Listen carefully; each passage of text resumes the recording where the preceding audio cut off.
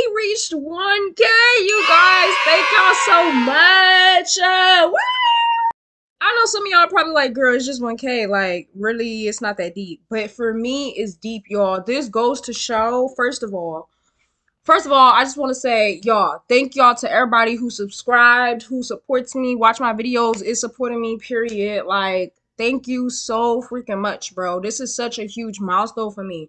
Y'all, I've been trying to get to 1K for the past three years. Yes. Wow. Let this be a lesson, y'all. That slow and steady wins the race.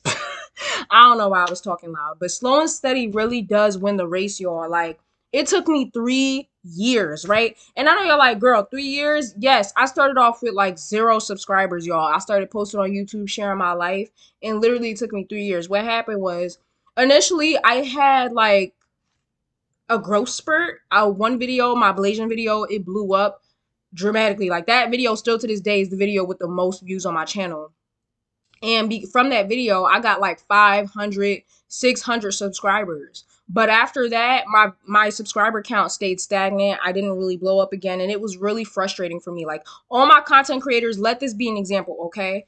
Um, yeah, it was very frustrating for me being a content creator. Like there may be moments where you're not always in the algorithm, you're not always getting views, and that's what it was like for me at that point. Like literally, my views was either staying at 525 or it was going a little bit lower, like 510 or then it would go a little bit higher like 530 but i was always in the 500 600 range and it's like finally bro like finally i broke through that shit. Now don't get it twisted. I'm not doing this for the views. I'm not doing this for clout or nothing. I'm simply doing this because my mission on this earth is to teach and help others on their spiritual journey period. Okay? That is it. It's to run my mouth and help. Okay? So I'm just really, really thankful. Like, again, 1,000 may not mean a lot to you guys or to other people because it's like, it's so easy for people to get subscribers nowadays. Like, literally, a million is like nothing to some people, but 1,000 is a lot for me. We still are on the journey to 1 million. Don't get it twisted. I'm, st- I'm on the journey to 1 million. Ain't, ain't nobody gonna stop me. But it's like slowly but surely I'm getting there. And I just really want to celebrate these little wins. That's also another lesson try to find beauty in times like these, you know, where you're not exactly where you want to be yet, but you're getting there.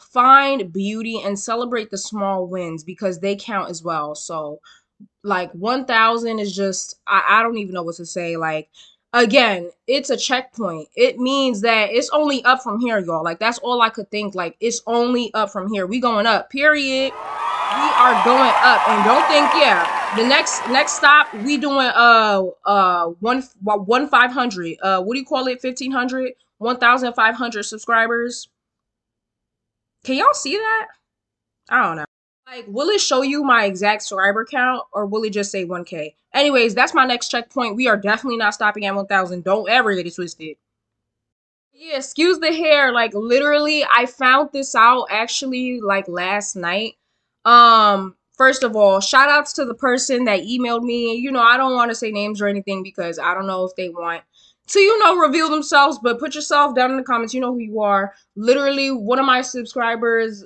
one of my supporters that, you know, recently found me. She was the first one to tell me congratulations. I'm looking at the email. I'm like, girl, what? Congratulations, 1K subscribers. Bitch, I went on YouTube so quick. I was like, ah! and I was gonna make a video. I did, and I was gonna make a video and post it last night, but y'all, I was way too fucking high. Anyways, y'all, ah! if you aren't subscribed, baby, join join the community, join the channel, and subscribe now.